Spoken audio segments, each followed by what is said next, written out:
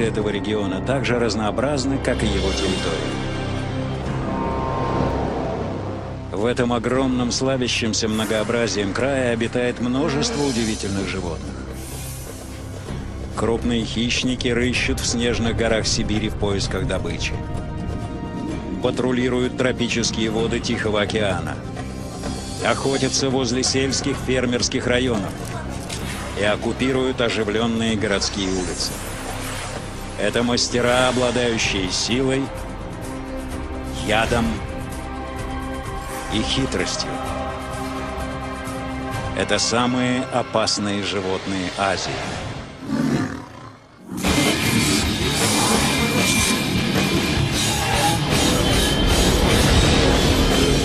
Самые опасные животные.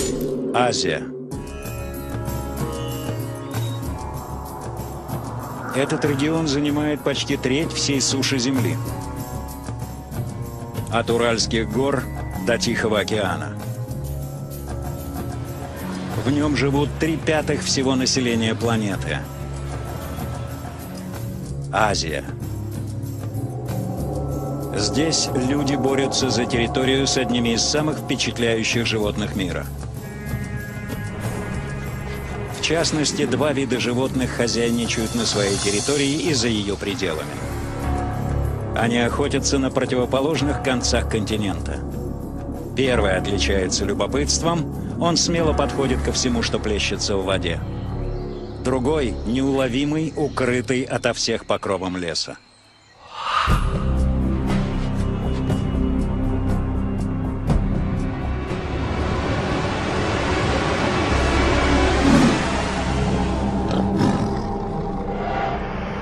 Но территория обитания сильных плотоядных животных Азии не ограничивается снежными горами севера. Они патрулируют и местные воды тоже. В нескольких километрах от побережья Азии опрокинулась маленькая рыбацкая лодка. Плеск воды может привлечь незваных гостей.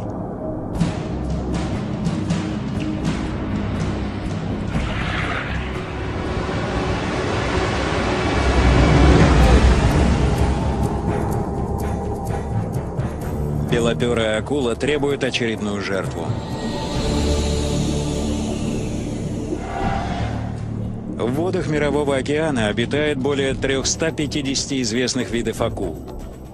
Большинство из них безопасны для нас, однако известны случаи, когда акулы, в том числе и белоперые акулы, нападали на людей.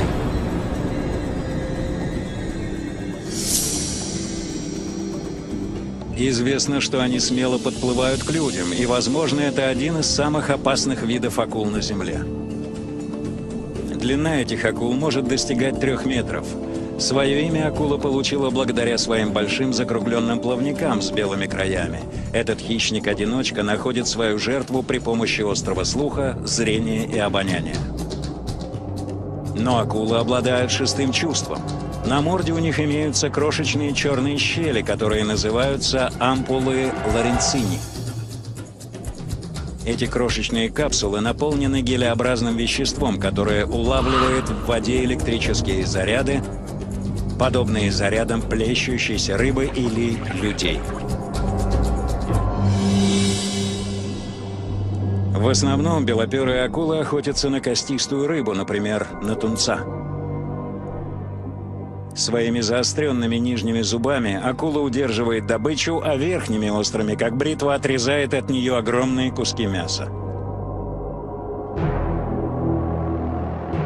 Ежегодно происходит до 70 подтвержденных случаев нападения акул на людей. Но люди нападают на акул гораздо чаще.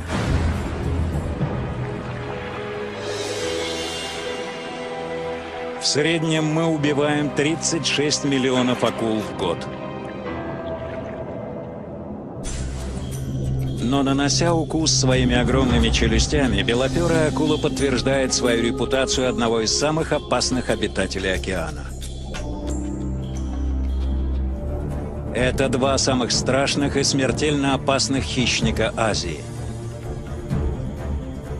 но и более мелкие существа тоже могут нанести смертельно опасный хищнический удар. Население Азии продолжает расти.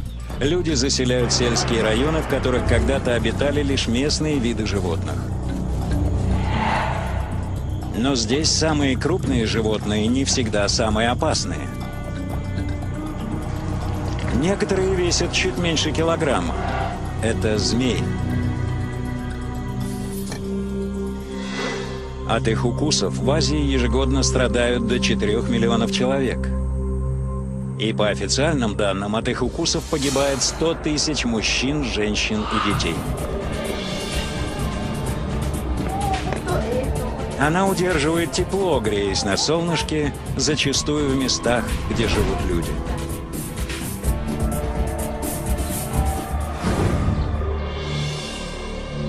Это хабу. Хабу, обладающая молниеносной скоростью, обитает только на крошечных юго-западных островах Японии. Она часто приползает в поселение людей в поисках грызунов своей основной добычи. Это одна из самых агрессивных змей Азии. В год от ее укусов страдает почти 600 человек. В течение дня она заползает в опавшие листья или низкие кустарники и ждет, пока жертва не окажется в пределах досягаемости. Это одна из самых длинных гадюк Азии. Иногда ее длина превышает 2 метра. И она может нанести укус с расстояния метра, половины длины своего тела в мгновение ока. Но эта змея опасна не только из-за ее скорости. Между глазами и ноздрями у змеи расположены особые органы – ямки, сенсорные рецепторы, улавливающие инфракрасное излучение или тепло, испускаемое теплокровными животными. Они в сто раз более восприимчивы к теплу, чем кожа человека. Охотясь на добычу, Хабу может нацеливаться на жертву температуры тела, которой выше температуры окружающей среды. Даже в темноте эта змея может наносить смертельно опасные укусы. Длина ядовитых зубов гадюки достигает 27 мм. Гемотоксичный яд вытекает из желез гадюки через полые ядовитые зубы, вызывая внутреннее кровотечение.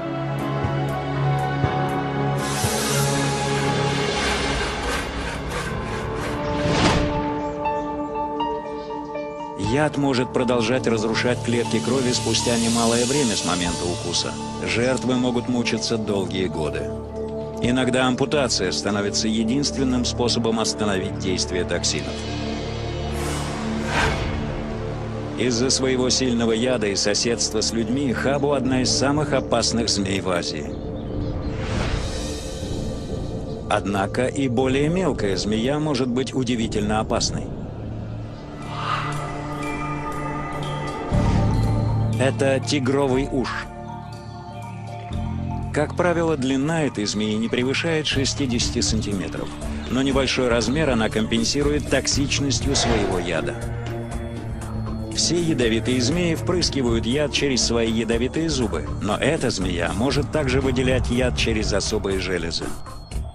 Ее часто можно встретить в Восточной Азии, где она охотится на лягушек и жаб на рисовых полях.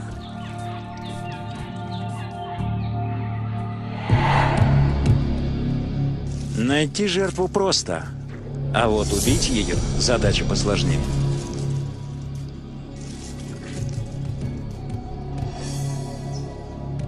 Тигровые ужи обладают маленькими загнутыми назад ядовитыми зубами, длина которых меньше 7 мм. Но в отличие от своих родственников с более крупными ядовитыми зубами, этим змеям не просто вонзать эти короткие кинжалы в тело жертвы. Прикрепившись к жертве, змея впрыскивает свой яд ей в тело через ядовитые зубы. Гемотоксичный яд медленно проникает в кровоток, вызывая неконтролируемое течение и затем смерть. Порой жабы не просто служат пищей. Некоторые тигровые ужи извлекают токсины из тела ядовитых жаб. Змея хранит эти заимствованные токсины в особых железах на шее, которые называются затылочными железами. В случае нападения тигровые ужи подставляют под удар затылочные железы. Вследствие давления на железы токсины высвобождаются в рот нападающему. Так атака останавливается, и у змеи появляется время, чтобы спастись. Тигровые ужи редко впрыскивают достаточное количество яда, чтобы убить человека. Но в Азии обитает другая смертельно опасная змея. Благодаря действию своего яда она стала настоящей легендой. Это китайский щитомордник –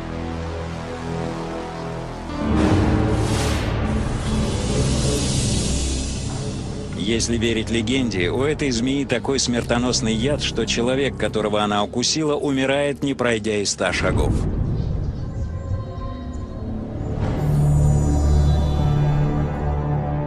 Она обитает в Южном Китае и Северном Вьетнаме.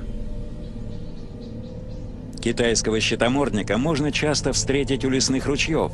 Эта змея умело обнаруживает добычу. Термочувствительные ямки определяют местоположение жертвы с температурой тела выше температуры окружающей среды. Свернувшись в кольцо, змея, не шевелясь, ждет, когда жертва к ней подойдет. А потом нападает. Имеющие более двух сантиметров длину полые ядовитые зубы выдвигаются, как выбрасываемое лезвие ножа, и впрыскивают яд, как игла шприца. Гемотоксичный яд змеи начинает действовать мгновенно. Обширное внутреннее кровотечение убивает грызуна за несколько минут. Вполне возможно, что эта змея причастна к гибели сотен людей. И потому легенда о китайском щитоморднике все еще жива. Но, возможно, самая страшная змея – та, на которую люди сами приходят посмотреть. В древнем искусстве заклинания змей актеры исполняют танец, который кажется опасным.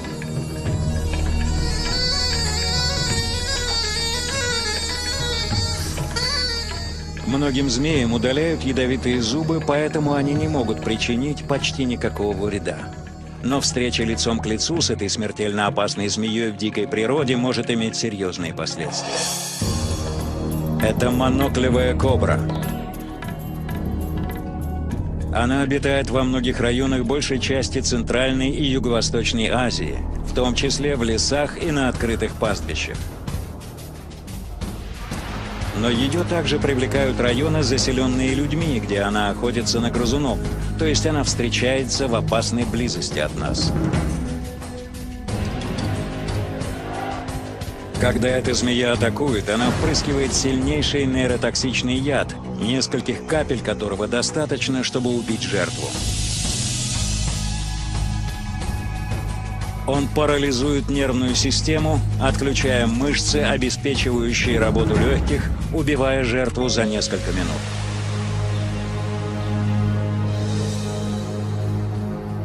А потом змея поглощает свою добычу. Почувствовав угрозу, змея предупреждает врага. Она делает это, разводя в стороны шейные ребра, вытягивая свободно свисающую кожу и демонстрируя свой знаменитый капюшон.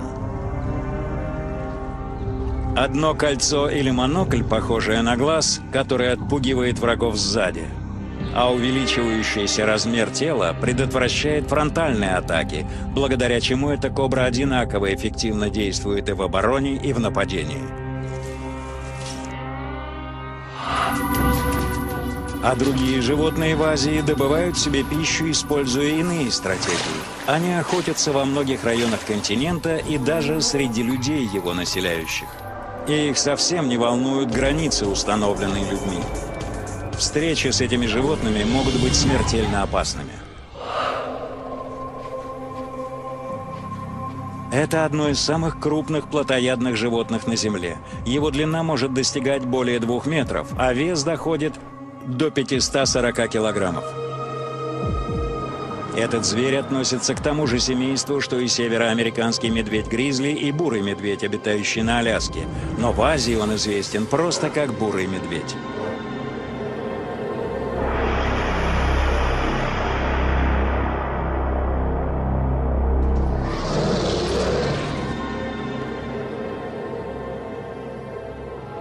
Он встречается во многих районах Центральной и Северной Азии, в самых разных местах обитания, в том числе в лесах и на открытых полях. Ему удается выживать в таких разных ареалах обитания, потому что он по-настоящему всеяден. Он ест практически все, что угодно. Своими 10-сантиметровыми когтями медведь роет землю, добывая корни насекомых и фрукты. Но кроме этого, бурые медведи копаются в отбросах в поисках мяса, поглощая падаль и роясь в мусорных кучах рядом с поселениями людей. Но его рацион не ограничивается только собирательством. Бурые медведи хорошо умеют ловить рыбу. И охотиться на суше.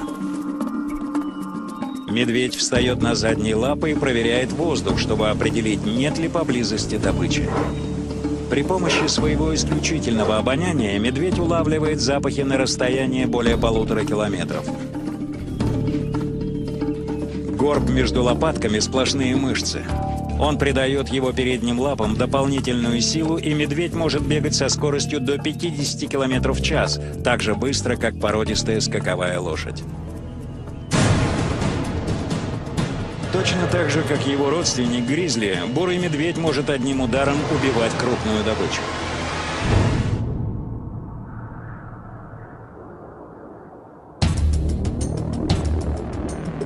Медведи тратят много времени на еду. Они набирают запасы жира, достаточные, чтобы выдержать 7 месяцев зимней спячки. В тяжелых поисках пищи они превращаются в ярых соперников и становятся опасными для людей.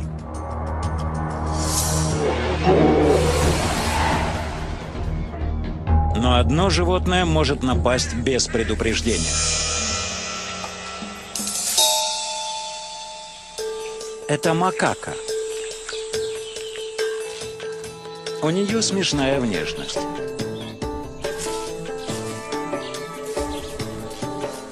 Но у этой хитрой проказницы есть темная сторона – Это одна из самых агрессивных обезьян Азии. Последствия их борьбы за территорию могут быть чудовищными.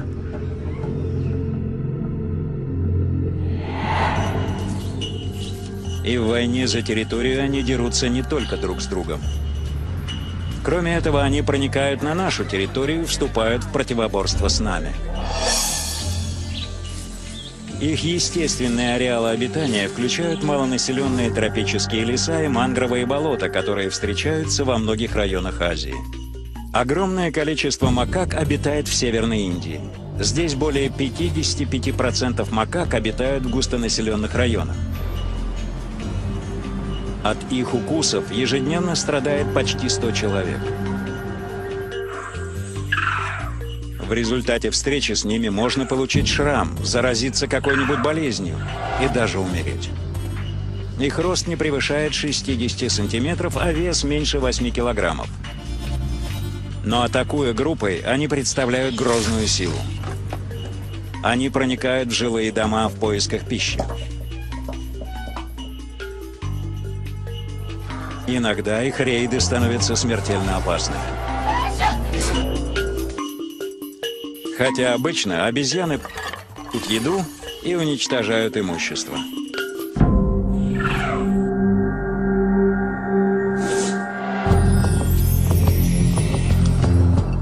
Несмотря на такое навязчивое поведение макак, некоторые почитают их как живое воплощение индийского бога обезьян Ханумана. Паломники приносят съедобные подношения, фрукты и орехи в храмы, поощряя тем самым присутствие обезьян. Обезьяны наблюдают за территорией, поджидая, когда им снова принесут еду. От такого ежедневного контакта обезьяны становятся смелее и агрессивнее по отношению к людям.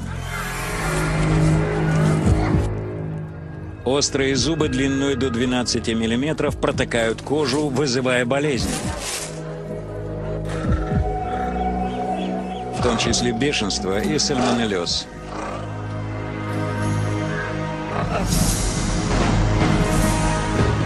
Количество макак, обитающих в городских районах, продолжает расти.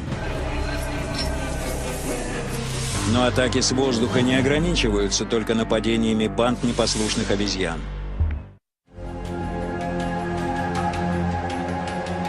Это самое мелкое смертельно опасное животное Азии и вместе с тем гигант в мире насекомых. Самая крупная оса на планете – азиатский гигантский шершень.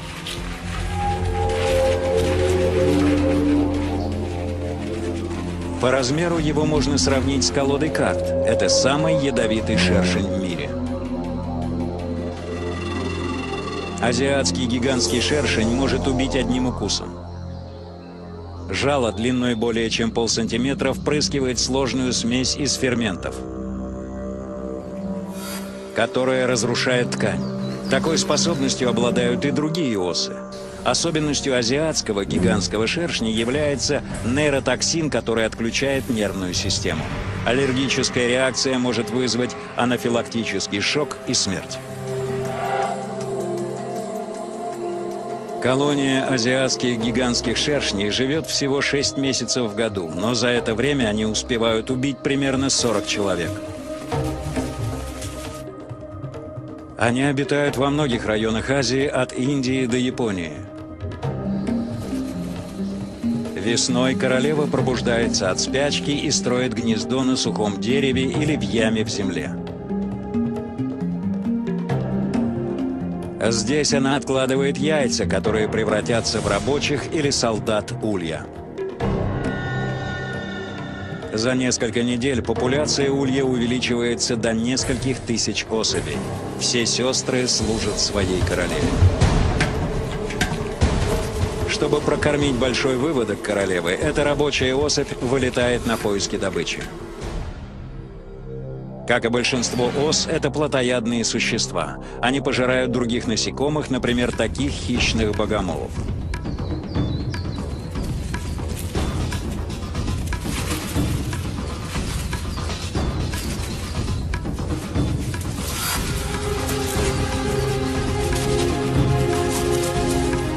Мощные нижние челюсти или клещи обезглавливают жертву. Но шершень убивает не для того, чтобы утолить собственный голод. Шершень пережевывает свою жертву в клейкую белковую массу, а потом приносит еду назад в улей, чтобы накормить сотни ненасытных детенышей.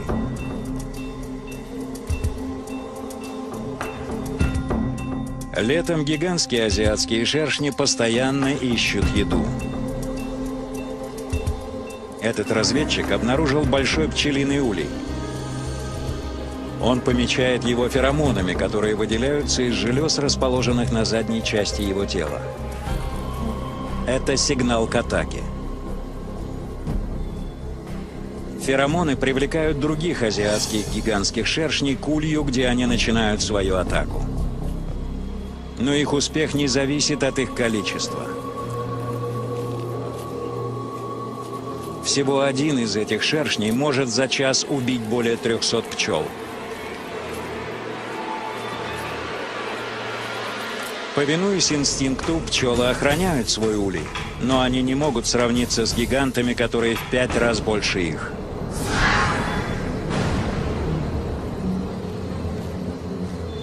За несколько часов небольшая группа гигантских ос уничтожает почти 30 тысяч пчел. Истребляя всю колонию. Осы возвращаются в свой улей с трофеями, драгоценными белками для своих детенышей.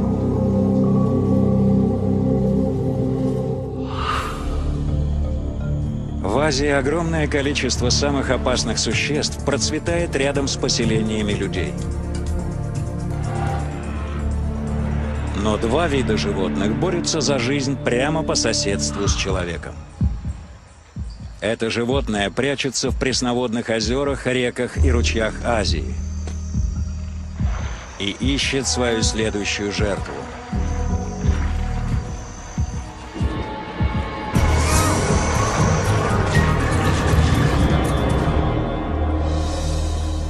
Это магер или болотный крокодил. Он обитает в Юго-Западной Азии, но самые большие популяции этих животных встречаются в Индии. На языке хинди слово «магар» означает «водный монстр». От него и произошло название «магер».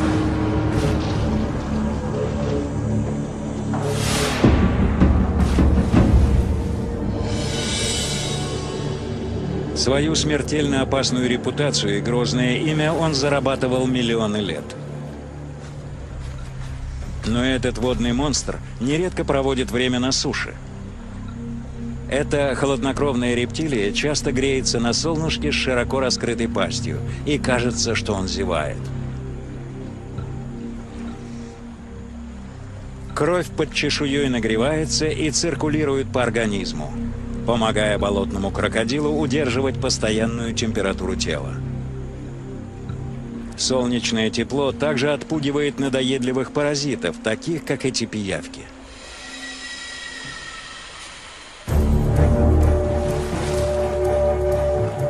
Самую большую опасность этот гигантский хищник представляет в воде. Во время охоты болотный крокодил ждет у берега, не шевелясь, Иногда ожидание длится несколько часов. Лишь его глаза, уши и ноздри остаются над водой. Многим удается избежать смерти, перепрыгнув через территорию болотных крокодилов. Но другие, как эти, например, сумчатые барсуки, не столь удачливы. Когда болотный крокодил начинает атаку, он вцепляется в свою жертву похожими на тиски челюстями, усаженными почти семьюдесятью острыми зубами.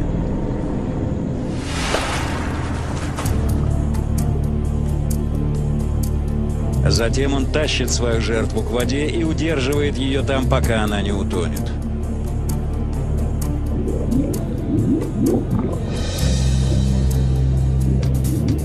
Особый клапан у него на горле, небная занавеска, не дает воде попасть в легкие, пока крокодил убивает свою жертву.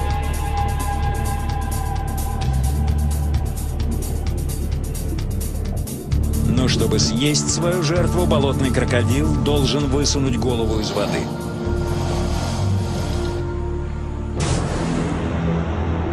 Длина крокодила может превышать 4,5 метра, а вес достигает 500 килограммов. Это очень большое животное, и его жертвами могут стать крупные звери, например, буйвол. Но в основном в его рацион входит рыба, рептилии и мелкие млекопитающие.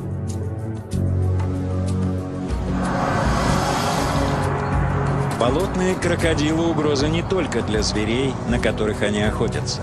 В начале брачного периода самцы начинают ревностно охранять свою территорию. Они собираются и дерутся за доминирование на территории.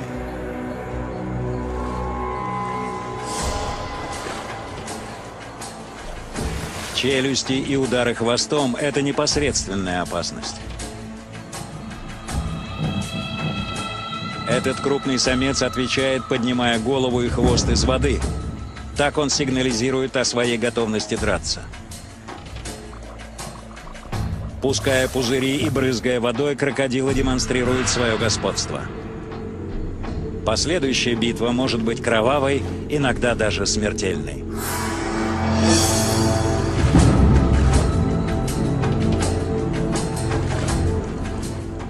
Но на этот раз проигравшему удалось спастись.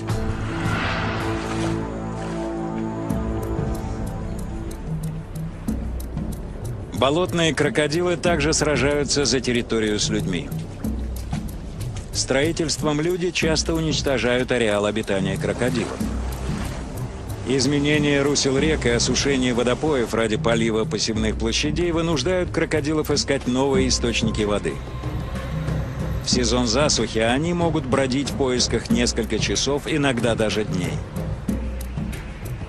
Если единственный доступный источник воды находится возле поселения людей, битва между болотными крокодилами и людьми может быть смертельно опасной. Но болотный крокодил не единственное доисторическое существо, борющееся за территорию. Тем же занят самый большой носорог Азии – индийский носорог.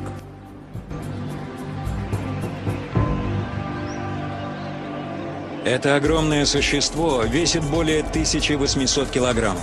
Столько же весит полноприводный автомобиль. Но несмотря на свой вес, равный двум тоннам, он может бегать со скоростью до 45 км в час. Это самый крупный однорогий носорог на планете. Поэтому его часто называют большим однорогим носорогом. Его рог состоит из волосообразных волокон, которые называются кератин. Они во многом похожи на вещество, из которого состоят наши ногти. Некоторые считают, что рог носорога обладает целебными качествами. Поверие, в том числе из-за которого индийские носороги оказались на грани вымирания. Когда-то тысячи носорогов бродили по огромной территории на юге Азии.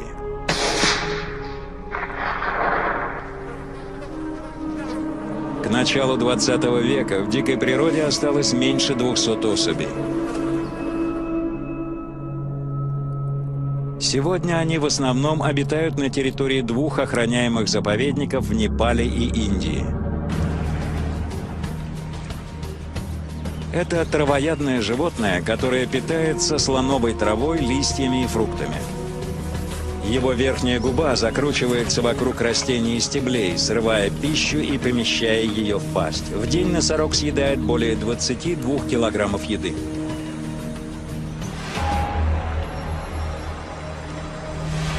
Но в сезон засухи, когда запасов еды не хватает, носороги уходят из охраняемых парков и пожирают фермерские посевы.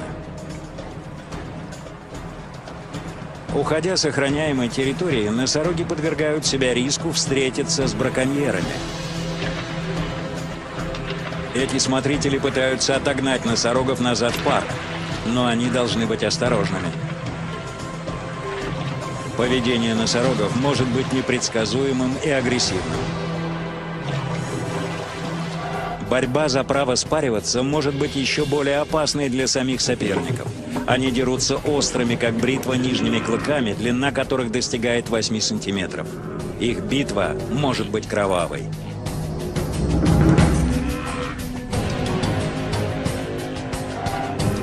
Несмотря на опасные стычки носорогов друг с другом, а также столкновения с браконьерами, популяция индийских носорогов за последние столетия увеличилась с 200 до 2000 особей.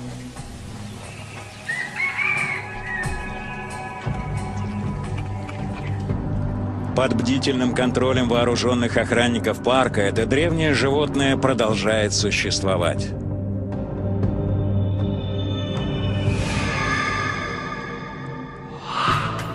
Но из всех смертельно опасных животных Азии самым опасным является другой зверь. Когда я впервые увидел этого медведя, я понял, что с ним могут быть проблемы. У него был зверский, уверенный в себе вид. Я увидел морду медведя, атакующего медведя, который хотел убивать. Это белый медведь.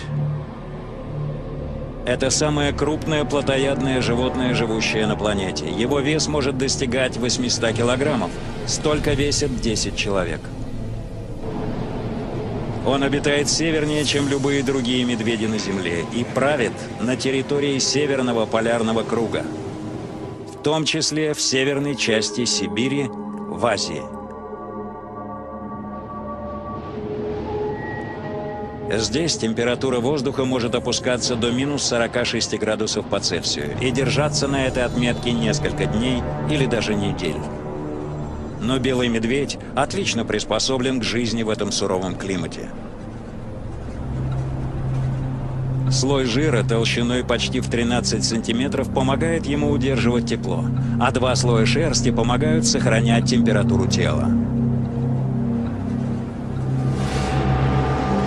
Пушистый подшерсток защищает медведя, а грубые наружные волоски отталкивают воду.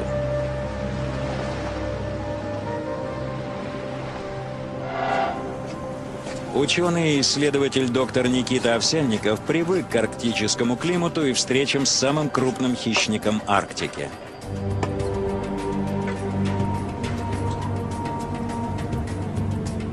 Доктор Овсянников живет и работает среди белых медведей более 17 лет. Месяцами, часто в полном одиночестве, он живет на отдаленной территории белых медведей в Сибири. Здесь Овсянников выслеживает и изучает медведей вблизи, порой на расстоянии всего в 2 метра.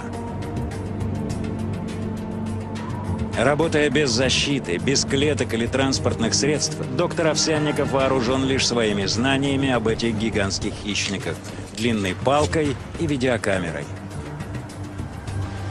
Он снял несколько сот часов такого материала. Благодаря своему опыту работы с белыми медведями, доктор Овсянников хорошо изучил их способности. Он встречался с этим гигантским хищником более 1500 раз, и несколько раз он был на волосок от смерти. Первый раз это произошло, когда я снимал медведя со своего обычного наблюдательного пункта. Он увидел, что я приближаюсь, и пошел на меня. И когда я сделал первый шаг от него, он понял, что если я от него убегаю, значит, я его боюсь. И он может попытаться напасть. В следующую секунду он побежал на меня. У меня не было времени подумать и решить, что мне делать, мне оставалось только убегать от него. Но доктор Овсянников знает, что побег – худшее, что можно придумать при встрече с белым медведем. Это часто провоцирует нападение. Кроме того, у ученого не было ни единого шанса обогнать медведя. Скорость белых медведей может достигать 40 км в час, то есть они бегают быстрее, чем спринтер-олимпиец. Большие круглые лапы, похожие на снегоступы, равномерно распределяют вес медведя, позволяя ему двигаться по такой трудной местности, как ненадежный дрейфующий лед. Доктор Овсянников добежал до своей безопасной хижины на несколько секунд раньше, чем медведь. Но зверь не сдавался. Он попытался пролезть в окно. Если бы он залез в хижину, он мог бы одним ударом своей 30-сантиметровой лапы убить Овсянникова в мгновение ока. В попытке спасти свою жизнь ученый прыснул в него перцовым газом. И он отреагировал так, как будто он ударил шаровую молнию. Он отпрыгнул и начал трясти головой. Он побежал к воде и плавал больше часа, отмывая свою морду от перцового газа. Вода — это убежище для медведя. Его научное название — Урсус маритимус, что значит «морской медведь». Будучи морским млекопитающим, белый медведь проводит всю свою жизнь, плавая в Северном Ледовитом океане, охотясь на дрейфующем льду вокруг океана. Передние перепончатые лапы работают как весла, толкая медведя в воде. Он может плавать со скоростью до 10 км в час и преодолевать расстояние свыше 96 км без передышки. Но часто возвращается на сушу, чтобы поохотиться. Он вылез из воды, но я не знал, что ему пришло в голову, пока он плавал. Я подумал, что он, возможно, решил мне отомстить. Он подошел, на расстоянии 70 метров к хижине и улегся в гальку мордой ко мне. Он начал за мной наблюдать. Точно так же они лежат у тюленьих нор во время охоты на тюленей. По мнению доктора Овсянникова, белый медведь демонстрирует классическое охотничье поведение. Охотясь на тюленей, основное блюдо в своем рационе, белый медведь наблюдает за отдушиной во льду.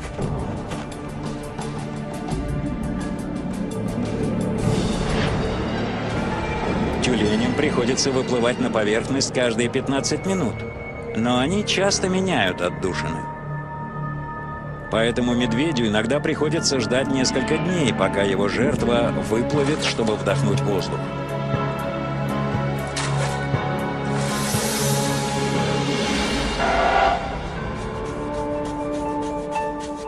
Когда тюлени возвращаются на сушу, они часто прячутся в воздушных ямах между слоями снега.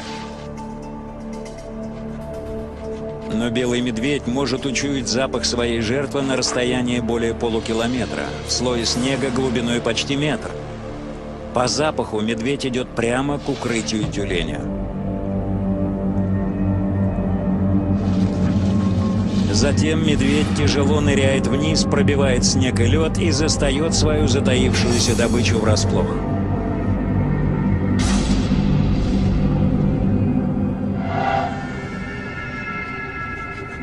Но медведь не смог пробить стену хижины доктора Овсянникова, а ученый так и не появился. Спустя несколько часов это гигантское плотоядное животное наконец ушло. На следующий день Овсянников был более осторожным. Но это страшное происшествие его не остановило. Он вернулся к увлечению всей своей жизни. На следующий день я буквально заставил себя вернуться к отмеле, потому что он был на отмеле. Но в этот раз, когда медведь и доктор Овсянников встретились, медведь отступил.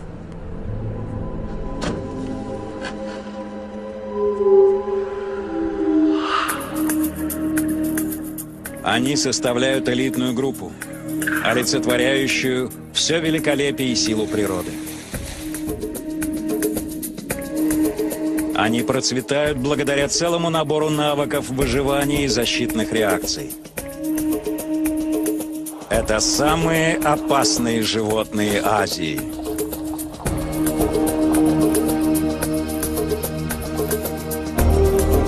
Похожие на снегоступы равномерно распределяют вес медведя, позволяя ему двигаться по такой трудной местности, как ненадежный дрейфующий лед.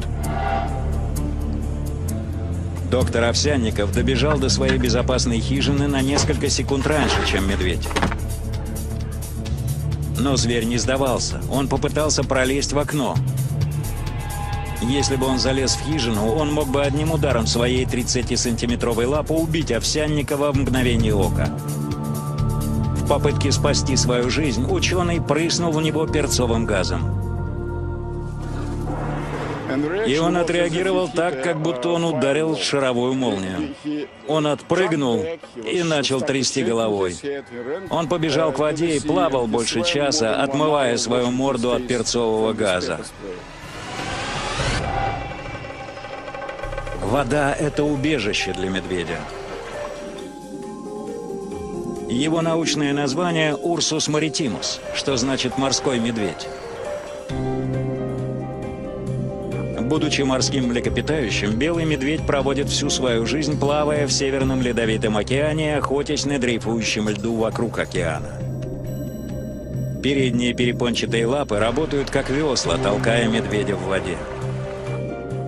Он может плавать со скоростью до 10 км в час и преодолевать расстояние свыше 96 км без передышки. Но часто возвращается на сушу, чтобы поохотиться. Он вылез из воды, но я не знал, что ему пришло в голову, пока он плавал. Я подумал, что он, возможно, решил мне отомстить. Он подошел на расстоянии 70 метров к хижине и улегся в гальку мордой ко мне. Он начал за мной наблюдать. Точно так же они лежат у тюленьих нор во время охоты на тюленей. По мнению доктора Овсянникова, белый медведь демонстрирует классическое охотничье поведение. Охотясь на тюленей, основное блюдо в своем рационе, белый медведь наблюдает за отдушиной во льду.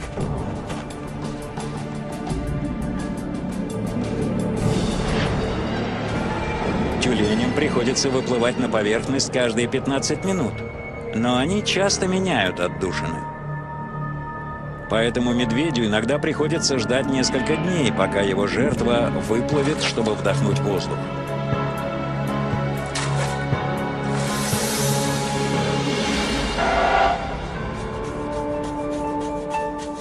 Когда тюлени возвращаются на сушу, они часто прячутся в воздушных ямах между слоями снега. Но белый медведь может учуять запах своей жертвы на расследа. Но встреча лицом к лицу с этой смертельно опасной змеей в дикой природе может иметь серьезные последствия. Это моноклевая кобра. Она обитает во многих районах большей части Центральной и Юго-Восточной Азии, в том числе в лесах и на открытых пастбищах. Но ее также привлекают районы, заселенные людьми, где она охотится на грызунов, то есть она встречается в опасной близости от нас. Когда эта змея атакует, она впрыскивает сильнейший нейротоксичный яд, нескольких капель которого достаточно, чтобы убить жертву. Он парализует нервную систему, отключая мышцы, обеспечивающие работу легких, убивая жертву за несколько минут.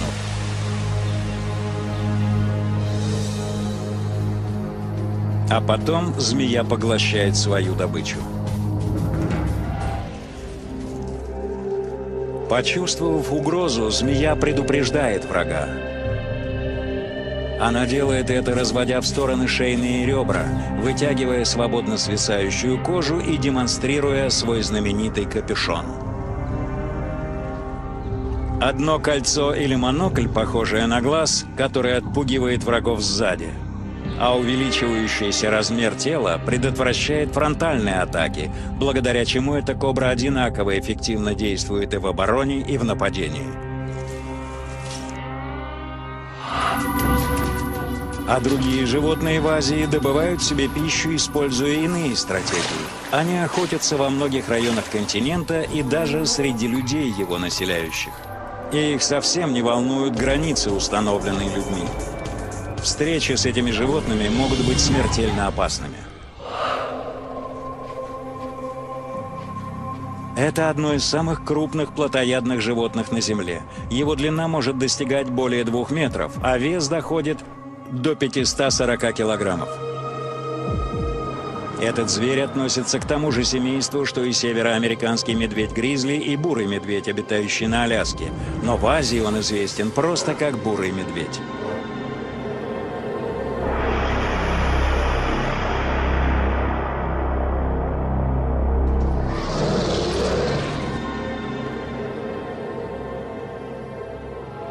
Он встречается во многих районах Центральной и Северной Азии, в самых разных местах обитания, в том числе в лесах и на открытых полях. Ему удается выживать в таких разных ареалах обитания, потому что он по-настоящему всеяден. Он ест практически все, что угодно. Самый крупный однорогий носорог на планете. Поэтому его часто называют большим однорогим носорогом. Его рог состоит из волосообразных волокон, которые называются кератин. Они во многом похожи на вещество, из которого состоят наши ногти. Некоторые считают, что рог носорога обладает целебными качествами. Поверие, в том числе из-за которого индийские носороги оказались на грани вымирания. Когда-то тысячи носорогов бродили по огромной территории на юге Азии.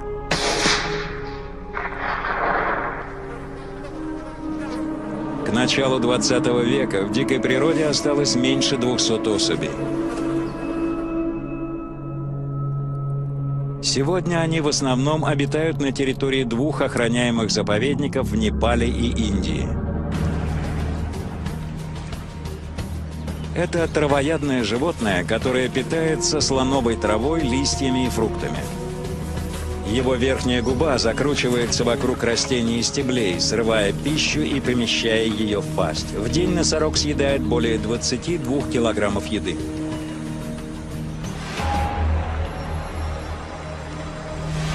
Но в сезон засухи, когда запасов еды не хватает, носороги уходят из охраняемых парков и пожирают фермерские посевы. Уходя с охраняемой территории, носороги подвергают себя риску встретиться с браконьерами. Эти смотрители пытаются отогнать носорогов назад в парк, но они должны быть осторожными. Поведение носорогов может быть непредсказуемым и агрессивным. Борьба за право спариваться может быть еще более опасной для самих соперников. Они дерутся острыми, как бритва, нижними клыками, длина которых достигает 8 сантиметров. Их битва может быть кровавой.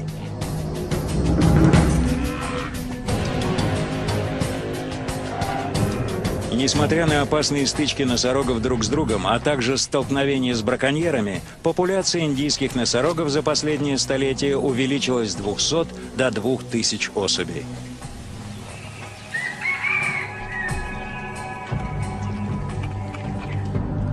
Под бдительным контролем вооруженных охранников парка это древнее животное продолжает существовать.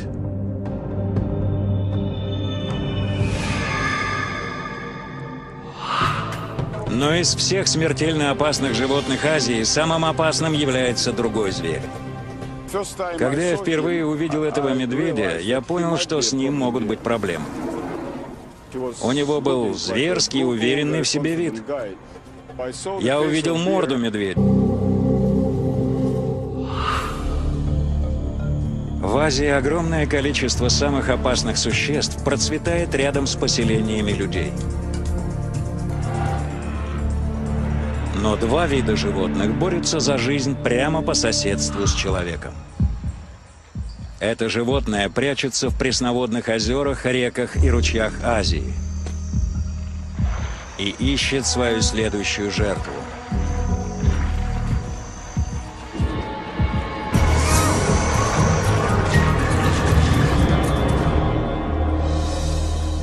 Это магер или болотный крокодил.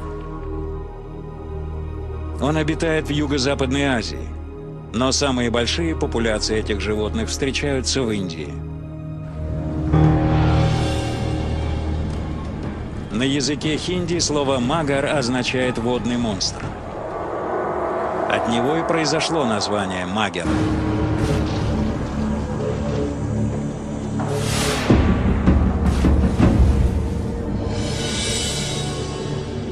Свою смертельно опасную репутацию и грозное имя он зарабатывал миллионы лет. Но этот водный монстр нередко проводит время на суше – эта холоднокровная рептилия часто греется на солнышке с широко раскрытой пастью, и кажется, что он зевает. Кровь под чешуей нагревается и циркулирует по организму, помогая болотному крокодилу удерживать постоянную температуру тела. Солнечное тепло также отпугивает надоедливых паразитов, таких как эти пиявки.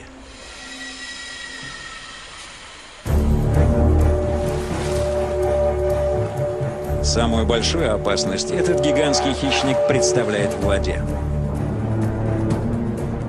Во время охоты болотный крокодил ждет у берега, не шевелясь. Иногда ожидание длится несколько часов. Лишь его глаза, уши и ноздри остаются над водой. Многим удается избежать смерти, перепрыгнув через территорию болотных крокодилов. Но другие, как эти, например, сумчатые барсуки, не столь удачливы. Когда болотный крокодил начинает атаку, он вцепляется в свою жертву похожими на тиски челюстями, усаженными почти семьюдесятью острыми зубами.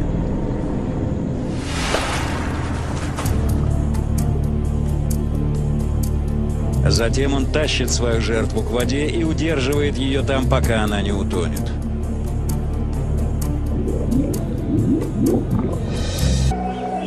В том числе бешенство и сальмонеллез.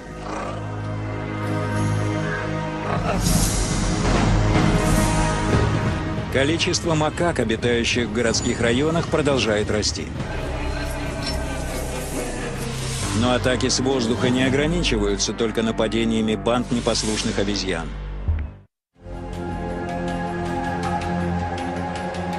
Это самое мелкое смертельно опасное животное Азии и вместе с тем гигант в мире насекомых. Самая крупная оса на планете – азиатский гигантский шершень.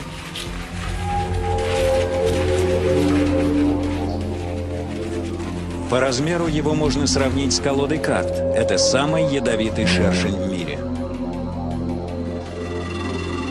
Азиатский гигантский шершень может убить одним укусом. Жало длиной более чем полсантиметра впрыскивает сложную смесь из ферментов, которая разрушает ткань. Такой способностью обладают и другие осы. Особенностью азиатского гигантского шершня является нейротоксин, который отключает нервную систему. Аллергическая реакция может вызвать анафилактический шок и смерть.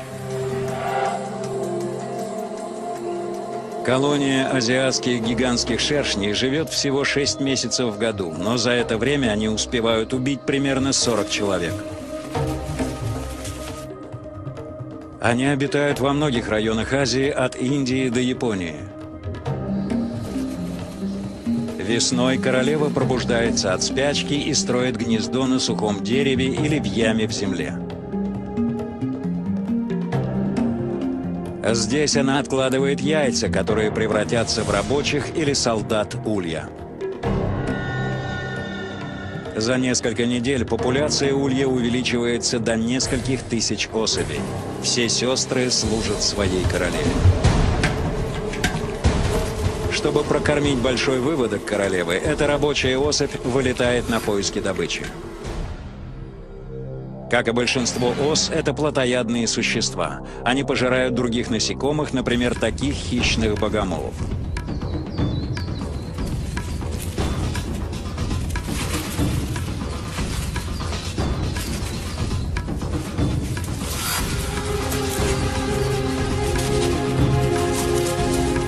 Мощные нижние челюсти или клещи обезглавливают жертву.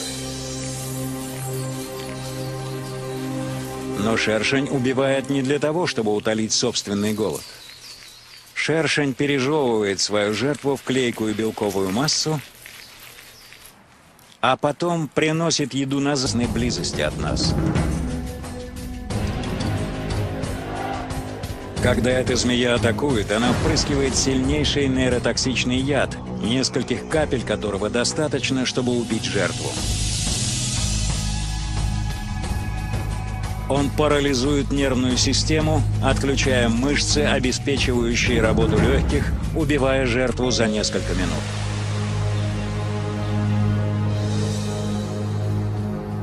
А потом змея поглощает свою добычу. Почувствовав угрозу, змея предупреждает врага. Она делает это, разводя в стороны шейные ребра, вытягивая свободно свисающую кожу и демонстрируя свой знаменитый капюшон. Одно кольцо или монокль, похожее на глаз, который отпугивает врагов сзади.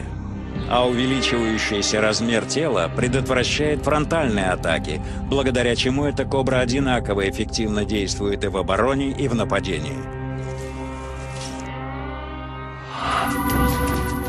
А другие животные в Азии добывают себе пищу, используя иные стратегии. Они охотятся во многих районах континента и даже среди людей, его населяющих.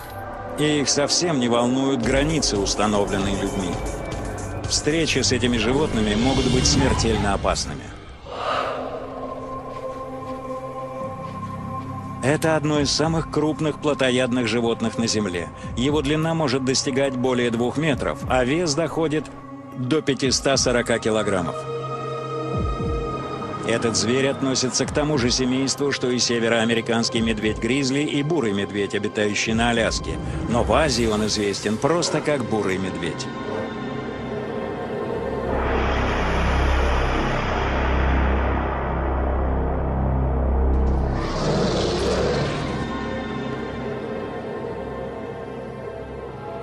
Встречается во многих районах Центральной и Северной Азии, в самых разных местах обитания, в том числе в лесах и на открытых полях. Ему удается выживать в таких разных ареалах обитания, потому что он по-настоящему всеяден. Он ест практически все, что угодно.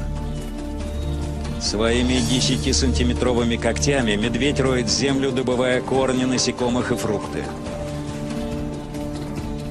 Но кроме этого, бурые медведи копаются в отбросах в поисках мяса, поглощая падаль и роясь в мусорных кучах рядом с поселениями людей. Но его рацион не ограничивается только собирательством. Бурые медведи хорошо умеют ловить рыбу.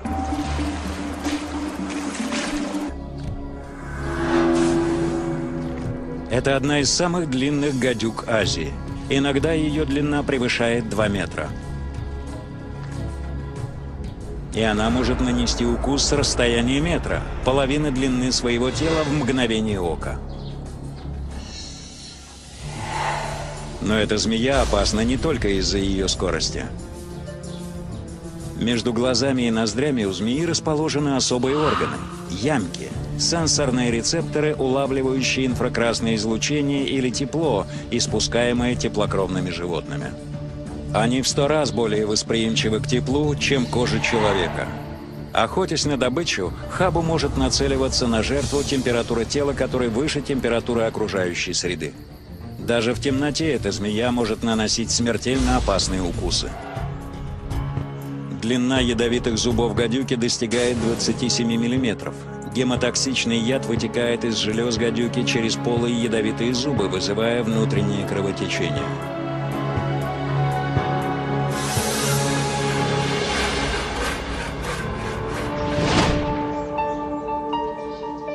Яд может продолжать разрушать клетки крови спустя немалое время с момента укуса. Жертвы могут мучиться долгие годы. Иногда ампутация становится единственным способом остановить действие токсинов. Из-за своего сильного яда и соседства с людьми Хабу одна из самых опасных змей в Азии. Однако и более мелкая змея может быть удивительно опасной. Это тигровый уж. Как правило, длина этой змеи не превышает 60 сантиметров, но небольшой размер она компенсирует токсичностью своего яда. Все ядовитые змеи впрыскивают яд через свои ядовитые зубы, но эта змея может также выделять яд через особые железы. Ее часто можно встретить в Восточной Азии, где она охотится на лягушек и жаб на рисовых полях.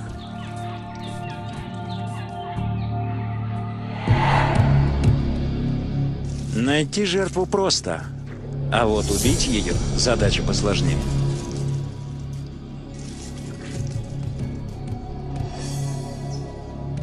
Тигровые ужи обладают маленькими загнутыми назад ядовитыми зубами, длина которых меньше 7 мм. Но в отличие от своих родственников с более крупными ядовитыми зубами, этим змеям не просто вонзать эти короткие кинжалы в тело жертвы. Прикрепившись к жертве, змея впрыскивает свой яд ей в тело через ядовитые зубы. Гемотоксичный яд медленно проникает в кровоток, вызывая... Это магер или болотный крокодил. Он обитает в Юго-Западной Азии, но самые большие популяции этих животных встречаются в Индии. На языке хинди слово «магар» означает «водный монстр». От него и произошло название «магер».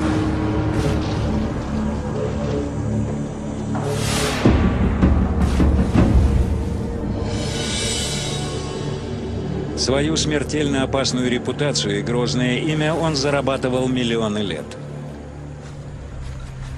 Но этот водный монстр нередко проводит время на суше – эта холоднокровная рептилия часто греется на солнышке с широко раскрытой пастью, и кажется, что он зевает. Кровь под чешуей нагревается и циркулирует по организму, помогая болотному крокодилу удерживать постоянную температуру тела. Солнечное тепло также отпугивает надоедливых паразитов, таких как эти пиявки.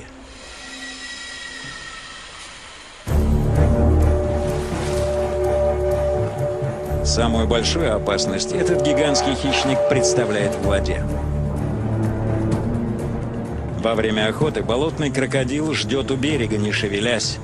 Иногда ожидание длится несколько часов. Лишь его глаза, уши и ноздри остаются над водой. Многим удается избежать смерти, перепрыгнув через территорию болотных крокодилов. Но другие, как эти, например, сумчатые барсуки, не столь удачливы. Когда болотный крокодил начинает атаку, он вцепляется в свою жертву похожими на тиски челюстями, усаженными почти семьюдесятью острыми зубами.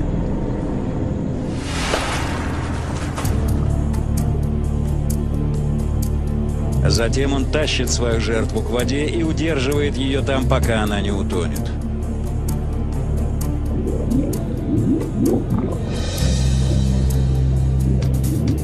Особый клапан у него на горле, небная занавеска, не дает воде попасть в легкие, пока крокодил убивает свою жертву.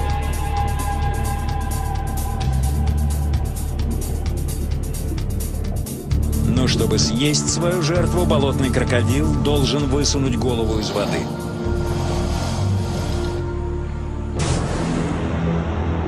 Длина крокодила может превышать 4,5 метра, а вес достигает 500 килограммов. Это очень большое животное, и его жертвами могут стать, цы начинают ревностно охранять свою территорию.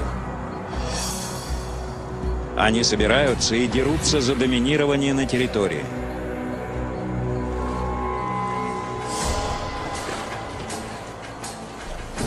Челюсти и удары хвостом – это непосредственная опасность. Этот крупный самец отвечает, поднимая голову и хвост из воды. Так он сигнализирует о своей готовности драться. Пуская пузыри и брызгая водой, крокодилы демонстрируют свое господство. Последующая битва может быть кровавой, иногда даже смертельной.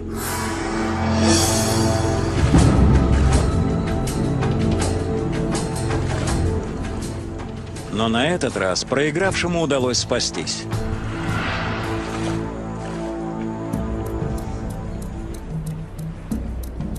Болотные крокодилы также сражаются за территорию с людьми. Строительством люди часто уничтожают ареал обитания крокодилов. Изменение русел рек и осушение водопоев ради полива посевных площадей вынуждают крокодилов искать новые источники воды – в сезон засухи они могут бродить в поисках несколько часов, иногда даже дней. Если единственный доступный источник воды находится возле поселения людей, битва между болотными крокодилами и людьми может быть смертельно опасной. Но болотный крокодил не единственное доисторическое существо, борющееся за территорию. Тем же занят самый большой носорог Азии – индийский носорог.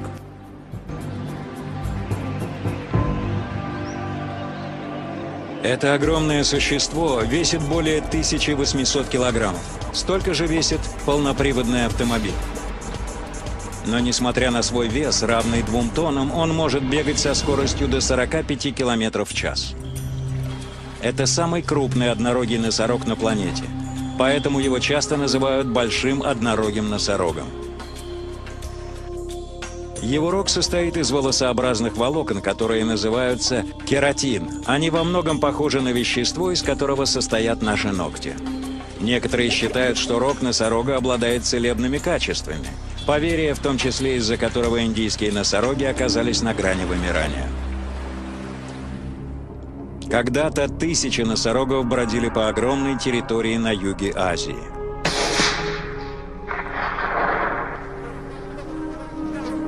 К началу 20 века в дикой природе осталось меньше 200 особей.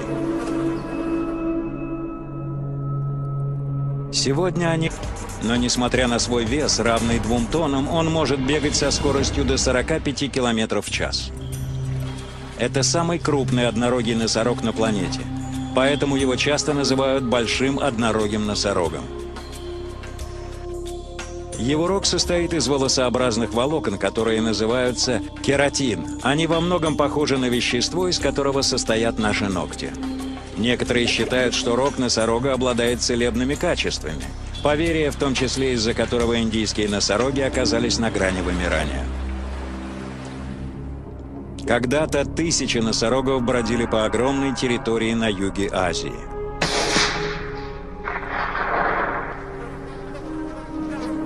К началу 20 века в дикой природе осталось меньше 200 особей. Сегодня они в основном обитают на территории двух охраняемых заповедников в Непале и Индии. Это травоядное животное, которое питается слоновой травой, листьями и фруктами. Его верхняя губа закручивается вокруг растений и стеблей, срывая пищу и помещая ее в пасть. В день носорог съедает более 22 килограммов еды.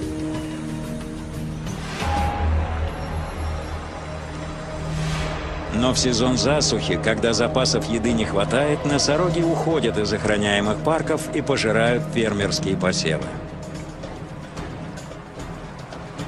Уходя с охраняемой территории, носороги подвергают себя риску встретиться с браконьерами. Эти смотрители пытаются отогнать носорогов назад в парк, но они должны быть осторожными. Поведение носорогов может быть непредсказуемым и агрессивным. Борьба за право спариваться может быть еще более опасной для самих соперников. Они дерутся острыми, как бритва, нижними клыками, длина которых достигает 8 сантиметров. Их битва может быть кровавой.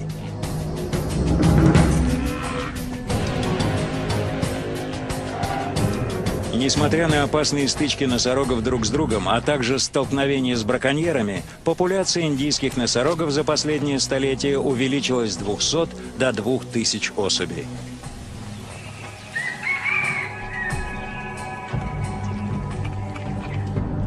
Под бдительным контролем вооруженных охранников парка это древнее животное продолжает существовать.